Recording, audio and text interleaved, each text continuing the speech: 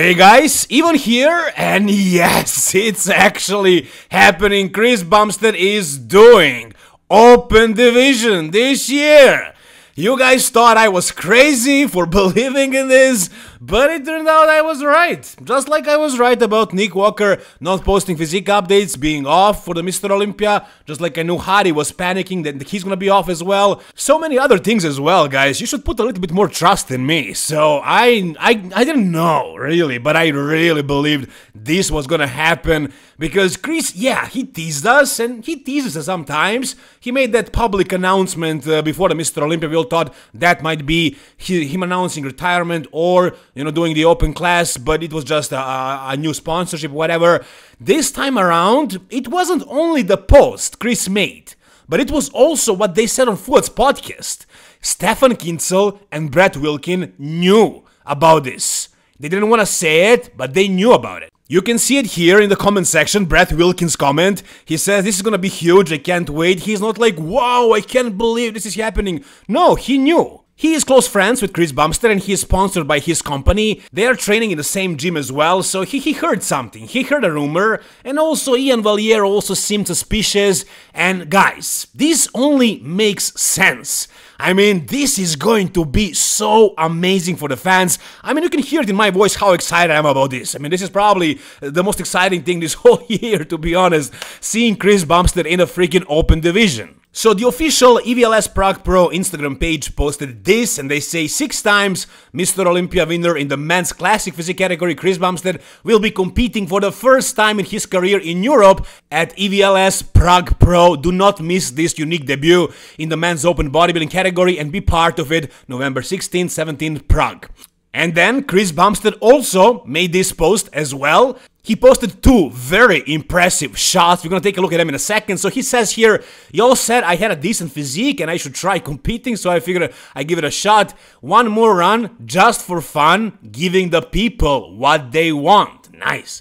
He says, three weeks out of EVLS Prague Pro Open Bodybuilding, I started my competing career in open bodybuilding with no expectations, just for the love of the sport, so why not finish it in the same fashion? More info in my latest YouTube video. And here you can also see Brett Wilkin's comment, been waiting for this one, so yeah, once again he knew. Of course, Ian Valliere and Matt Jansen knew it as well, and I understand that it was difficult to believe that it's gonna happen. You know, you guys were like, he doesn't have anything to prove, why would he do this? He can, you know, not win, lose, and like maybe ruin his career. He wouldn't, he won't, he won't ruin anything, guys, come on. Like, he doesn't have to win. But if he does end up winning against Martin Fitzwater, who was fourth in the Mr. Olympia, arguably could have placed higher. Maybe I could see him placing as high as second. You know, some people actually had him in their uh, top two, top three. Uh, not me, but like some people. There was a conversation. He was in the top four call out with those guys, like a separate call out. He wasn't with those guys under, you know, under him. He wasn't with Andrew Jacked, with Hunter Labrada and call out. He was with those three guys in a call out. So that means Martin is at the top. If Chris Bumstead manages to win this show and beat Martin Fitzwater, that kind of means that Chris could potentially win the Open someday if he did an off season where he was focused on growing. But can he do it? Can he win Prague Pro?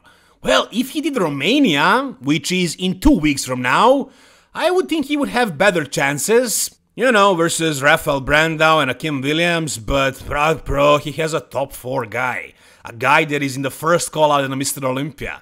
So, it's, it's, a, it's a real test right? You know, if he wins a small show with no top 10 Olympians, then it doesn't really mean much.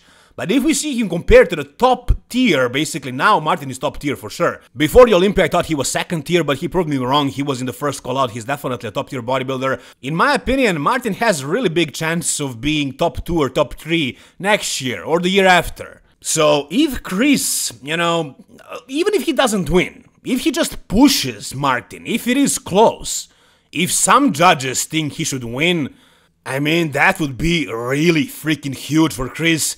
Maybe he should reconsider retiring, you know, maybe switch to the Open instead. But that's not gonna happen, you know. He decided to retire, this is just for fun. He has a family to focus on, a business, and you know, he left a huge legacy and he has health issues, so he is not gonna be doing open seriously. I don't think so, unless he goes crazy after this you know, wins and it gets to his head and he decides to go all out and risk everything. I mean, it happens to people, but I don't think Chris is like that. I don't think it's gonna happen. So I think this is just for fun. And I said it already, like, it makes sense, guys. I mean, he doesn't have to do anything crazy now. I mean, I have a client over here in Serbia. He's basically the best classic physique guy in Serbia. He just won the European Arnold Classic overall title. You can check. His name is Stanislav Tarajlo and uh, we tried the open bodybuilding after that. The next show was 3 weeks later and he was up 20 pounds. Not as dry as he was in Classic Physique. Over here in Europe, Classic Physique weight cap is a lot smaller than in NPC or IFBB Pro League, so he had to suffer down, make the weight. Here he had no weight restriction and he definitely came in a lot fuller, a little bit more watery, but still it was an impressive look. It looked great for open bodybuilding. I mean, look at the difference. It was huge. We did a great rebound for those 3 weeks and a different peak week. By the way, guys, if you're looking for a coach, you can hire me, DM me on Instagram.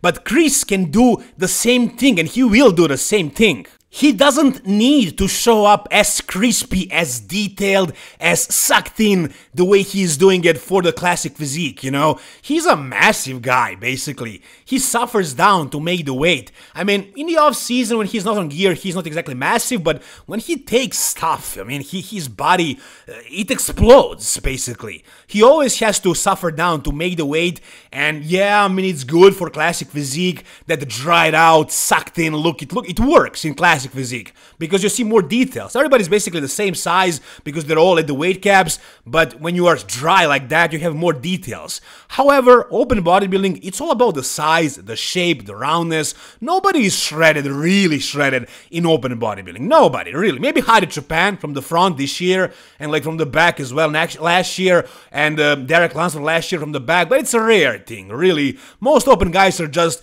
you know, lean enough, but blasting full, super round. And that's what Chris needs to bring. With his shape, with his structure, guys, guys, this is going to be amazing. I mean, he is extremely wide through the shoulders, and those lats pop out like crazy from the front. And the legs have the crazy width as well, and the pop, you know, crazy X frame. I mean, if he is like, let's say, 20 pounds bigger, why wouldn't he be 20 pounds bigger? I mean, my guy was uh, 200 pounds on stage in classic physique, and then he was maybe not 20 pounds heavier. I think he was like, if I converted to pounds, I think he was like uh, 215. Still, 15 pounds in like 3 weeks. That's a lot. And Chris is 240 on stage in classic physique, sucked down, you know, making the weight. So how much will he jump? You know, percent wise, in my opinion, he can probably go up like 20, 25 pounds. You know, we can see him on stage at like 265. Guys, 265 for his frame, his structure, that's gonna be impressive. Do I see him beating Martin Fitzwater? No, no, no. I, I don't think so. I would love to see it happen, honestly. Even though I like Martin and he's part of Hosstile, I would just love to see Chris Bumstead win. I'll be honest with you guys. I would love to, for that to happen, for a classic guy to prove that he is better than an open guy, than a top tier first call out open guy.